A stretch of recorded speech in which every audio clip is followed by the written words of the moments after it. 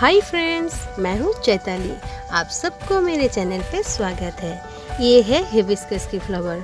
मेरे गार्डन में बहुत सारे फ्लावर्स खिलते हैं और वो मैं भगवान जी को चढ़ाती हूँ। मेरे घर में जो मंदिर है, वही मंदिर में। तो आज की वीडियो में मैं दिखाऊँगी कैसे मेरे वो मंदिर बने हैं और कैसे मैं रोज़ वहाँ पर पूजा पाठ करती हूँ, वो सब। तो चलिए देखते हैं मेरे भगवान जी के मंदिर कैसे बने हैं और मैं कैसे पूजा करती हूँ, कहाँ पर करती हूँ। ये है मेरे घर का मंदिर, जहाँ पर मैं रोज़ पूजा पाठ करती हूँ।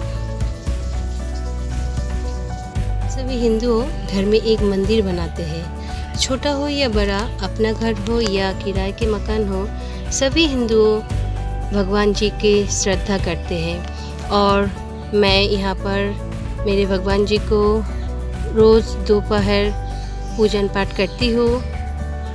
और मेरे बच्चे भी मेरे साथ साथ ये पूजन पाठ सीख गई है। मुझे बहुत अच्छे लगते हैं वो दोनों जब पूजा पाठ करती है, बहुत अच्छे लगते हैं। हमारे घर में हर साल सरस्वती पूजा, लक्ष्मी पूजा, गणेश पूजा और बाल गणेश जी की जन्माष्टमी पूजा बड़ी धूमधाम से मनाए जाते हैं।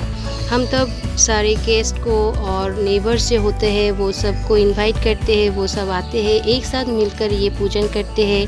भगवान जी को प्रसाद चढ़ाए जाते हैं, भोग चढ़ाए जाते हैं, बाद में वो भोग हम सब बांट के मिलजुल कर खाते हैं।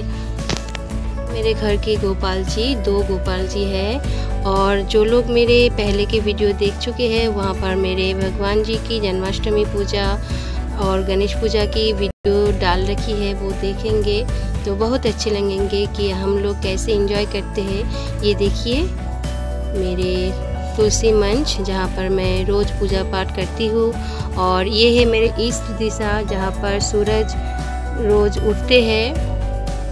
और ये देखिए मैंने तोरण बनाई है और एक कार्टन दे दी है जो रात को मैं इस कार्टन को लगा देती हूँ। भगवान जी सो जाते हैं और सुबह को मैं ये कार्टन खोल देती हूँ। फिर से पूजा स्टार्ट करती हूँ और ये है आलपना जो मैंने मेरे हाथों से ही दी है सरस्वती पूजा में।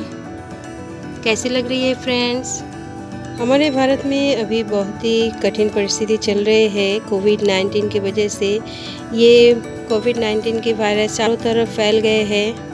हम सब मिलकर एक साथ अगर भगवान जी से प्रे करेंगे तो भगवान जी ज़रूर हमारे सबकी बातें सुनेंगे। इस परिस्थिति से हम सबको निकाल लेंगे। ये मेरे मन से मानना है। तो चलिए प्लीज़ हम सब लोग एक साथ मिलकर हाथ जोड़ के भगवान जी से प्रे करते हैं कि ये करोना वायरस हमारे यहाँ से दूर भाग जाए, हम सब सुस्त रहें। ये है हमारे छोटे सा रूम, मंदिर होने से पहले और इसी रूम को कैसे धीरे धीरे मेरे ये घर की टेंपल बनाई गई है तो चलिए मैं दिखाती हूँ।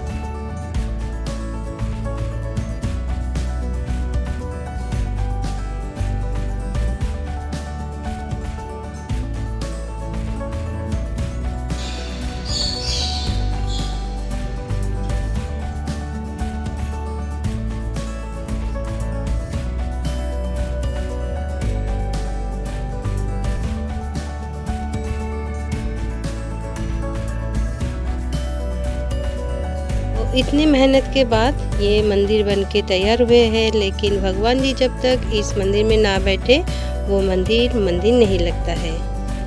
देखिए, मंदिर में अब भगवान जी को बिठाने के बाद ये मंदिर बहुत सुंदर लग रहा है। तो फ्रेंड्स, आज के लिए बस इतना ही। अगर आपको ये वीडियो पसंद आए तो प्लीज़ मुझे लाइक और कमेंट्स कीजिएगा। और जो लोग पहली बार देख रहे हैं, वो लोग प्लीज़ मुझे सब्सक्राइब कर लीजिएगा।